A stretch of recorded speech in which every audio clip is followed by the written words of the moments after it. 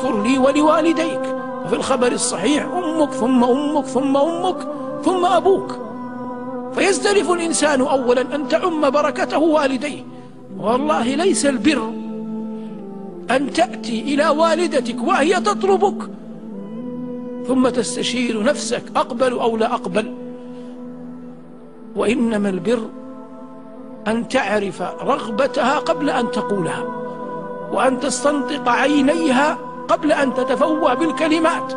فتعلم رغبتها تعلم مقصدها تعلم حاجتها فتقضيها لها تحافظ على ماء وجهها. تمنع, أم تمنع أمك أن تسألك. وأنت لا تصنع هذا لأنها أمك. تصنع هذا لأن الله جل وعلا أمرك به. تصنع هذا لأن الله وصاك به. فأنت تعظم الله في برك لأمك. وتعلم أنك قادر على أن تخرج عنها أو منها بأكثر الأعذار لكنك تصنع ما تصنع لتنال رضا الله الواحد القهار.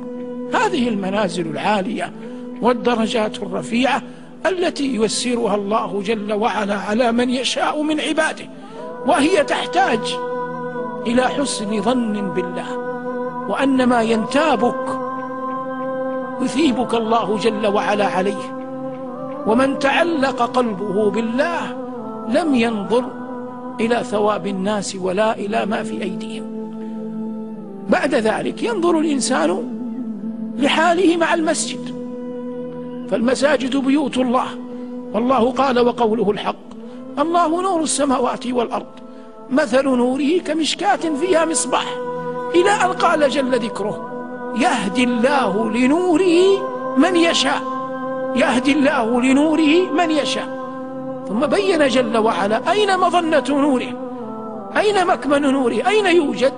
قال في الآية التي تليها في بيوت أذن الله أن ترفع ويذكر فيها اسمه يسبح له فيها بالغدو والآصال. أنت أيها المبارك برحمة الله تذهب إلى المسجد.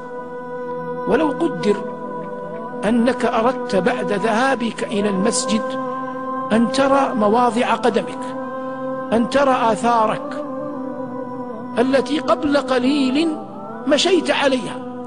ربما جاءت الرياح جاء عامل ما مسؤول عن الحي فأذهب كل ما قد وطئت عليه.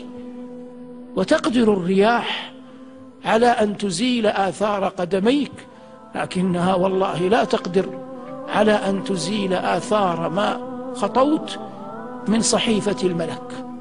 محال أن تقدر أن تمحو الرياح ما كتبه الملك لك يوم تلقى الله. قال ربنا إنا نحن نكتب ما قد